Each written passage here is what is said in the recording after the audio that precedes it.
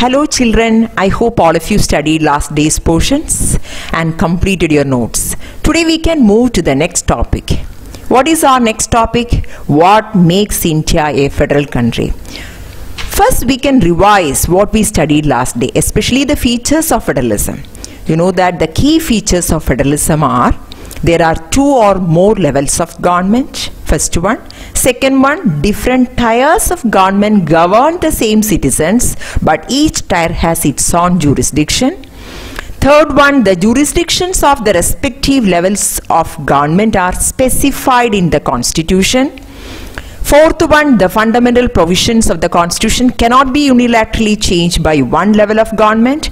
Fifth one, courts have the power to interpret the constitution and the powers of different levels of government.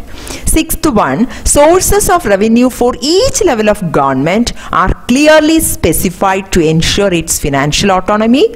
And the last one, the federal system has dual objectives to safeguard and promote unity of the country while at the same time accommodate regional diversity.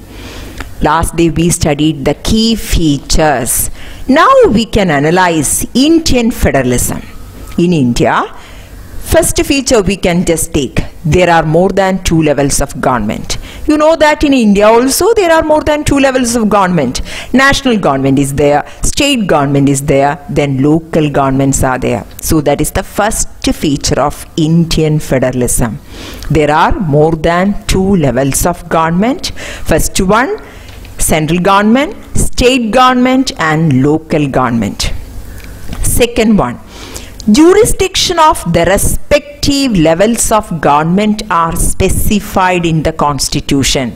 The second one, the jurisdictions of the respective levels of government are specified in the constitution. Because in our constitution, it is clearly provided a threefold distribution of legislative powers between the union government and the state government. We can see three lists inside our constitution. Three lists are union list, state list and concurrent list. First we can study in detail. First one union list. Total 97 subjects. Subjects of national importance are included. Defense, banking, currency, communication, etc. are examples. The central government alone can make laws relating to these subjects. So you know union list contains 97 subjects.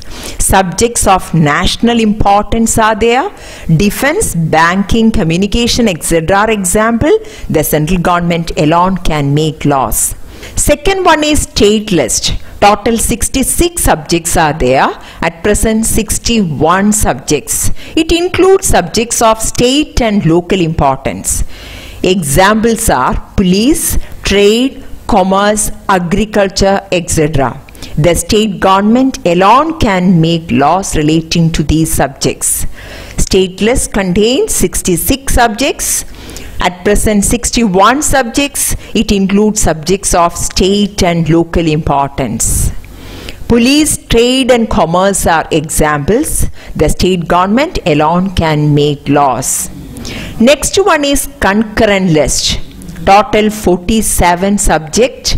At present 52 subjects. Certain subjects are shifted from state list to concurrent list. So the number of subject in state list reduced from 66 to 61 and number of subjects in concurrent list increased from 47 to 52. Subjects of common interest are there in concurrent list. Examples are education, forest, marriage, trade union, etc both the central as well as the state government can make laws. If their laws conflicts with each other, laws made by the union government will prevail. Once again I will repeat concurrent list total 47 subjects and at present 52 subjects. Subjects of common interest are there. Education, forest, marriage, etc. are examples. Both central as well as the state government can make laws. If their laws conflict with each other, then the laws made by the central government will prevail. You know that Indian federalism that is a holding together. What is the speciality of holding together? You know that in holding together federation, the central government tends to be more powerful than states. So certain cases the central government controls the state governments. That is why if any conflicts develops between the central and state government relating to the laws, then the union government's decision will be the final. Now we can move to certain subjects, you know, for example, computer software, e-commerce, cyber laws. These subjects came into being after the constitution was created subjects which are not present in any of these lists mentioned in the constitution are known as residuary subjects. Subjects which are not present in any of the list. What are these lists? You know, union list, state list and concurrent list. So that subjects all are included in residuary subjects. Examples are computer software, e-commerce, cyber laws, etc. The central government has the power to make laws in residuary subjects. So you know, there is a threefold distribution of legislative powers between union government and state government. It contains three lists, union list, state list and concurrent list. Other than these three lists, we can see that residuary subjects are there. Why residuary subjects? Because certain subjects are not present in any of these lists. So we call that subjects as residuary subjects and the central government has the power to make laws on residuary subjects. Examples are computer software, cyber laws, etc.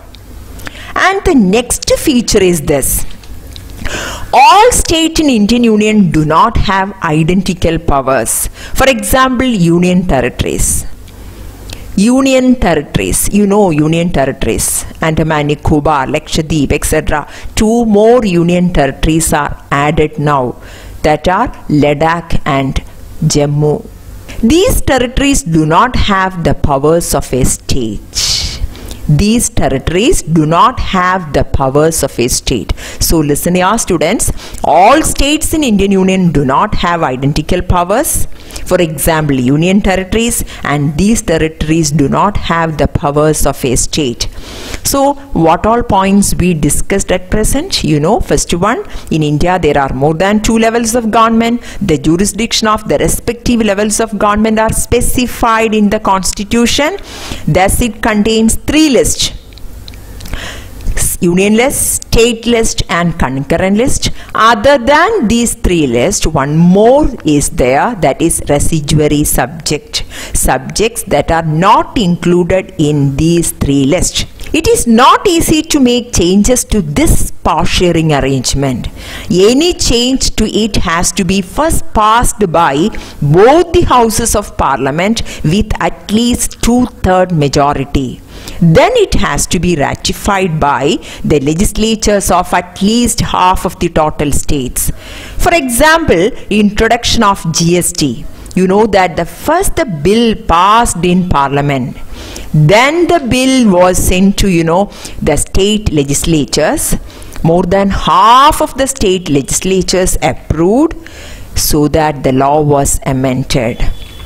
So, you know, the next point is this. It is not easy to make changes to this power sharing arrangement. Any change to it has to be first passed by both the houses of the parliament with at least two-third majority because we studied one of the feature of federalism the fundamental provisions of the constitution cannot be unilaterally changed by one level of government. Such changes require the consent of both the levels of government. That point we are explaining here it is not easy to make changes to this power sharing arrangement. Any change to it has to be first passed by both the houses of parliament with at least two-third majority. Then it has to be ratified by the legislatures of at least half of the total state. And the best example is the latest one that is introduction of GST. First the bill was passed in parliament, then they sent the bill to state legislatures. More than half of the state legislatures approved so that the law was amended. And the next one is this. You know that judiciary plays an important role in overseeing the implementation of constitutional provisions and procedures. That is one of the feature. So in the case of India, you know, in case any dispute about the division of powers, two courts are playing a very important role the Supreme Court and High Court. The High Court and the Supreme Court make a decision. We can take the example, you know, Kaveri water dispute. You all are familiar about this. The dispute between Karnataka, Tamil Nadu and Kerala. Supreme Court passed a final decision, so the dispute was solved. So we can repeat the point. The judiciary plays an important role in overseeing the implementation of constitutional provisions and procedures. In case of any dispute about the division of powers, the High Court and the Supreme Court make the decision. And example, Kaveri water dispute. And the next one is this. Sources of revenue of each level of government are clearly specified. We studied last day. The features of federalism. The union and the state government have the power to raise resources by levying taxes in order to carry on the government and the responsibilities assigned to each of them. So you know that each and every government that means central government knows very well which all taxes they can collect and state government knows very well which all taxes they can collect. So all these are clearly specified in the constitution. So we can conclude that all the features of federalism are clearly followed in india. Now we can just revise what we studied today what topic we studied what makes india a federal country what are the main points first one in India, there are more than two levels of government. Second one, the jurisdiction of the respective levels of government are specified in the constitution. The constitution clearly provided a threefold distribution of legislative powers. Thus, it contains three lists, union list, state list and concurrent list. Union lists contain 97 subjects. It includes subjects of national importance, defense, banking, communication, etc. are examples. Central government alone can make laws. State list, total 66 subjects are there but at present only 61 subjects. It includes subjects of state and local importance. Police, trade, commerce, agriculture, etc. are there. The state government alone can make laws. Concurrent list, total 47 subjects when constitution was enforced. Now 52 subjects are there. Subjects of common interest, education, forest, etc.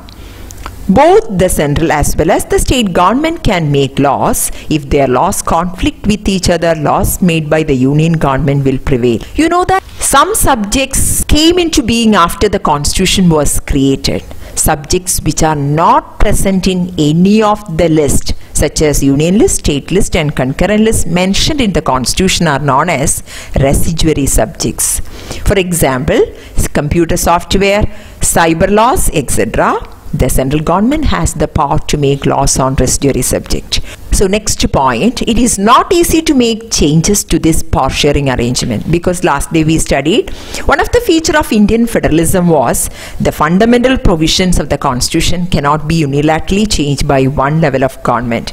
Any change to it has to be first passed by both the houses of the parliament with at least two-third majority. Then it has to be ratified by the legislatures of at least half of the total states. And the next point is judiciary plays an important role. And if any disputes arise between the central and state, the High Court and the Supreme Court make a decision. And the last one is the sources of revenue of each level of government are clearly specified. The union and the state government have the power to raise resources by levying taxes in order to carry on the government and the responsibilities assigned to each of them. So we can conclude that India is a federal country. Now you can write homework question. Today only one homework question. What makes India a federal country? That also be a very important question. Sometimes some other ways also questions ask. Another way they can ask question that is the constitution clearly provided a threefold distribution of legislative powers between union government and state government. Explain or elaborate the statement.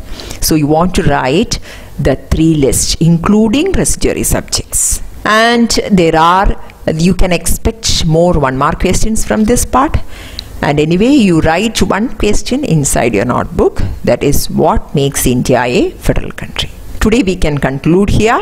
Tomorrow we can meet again.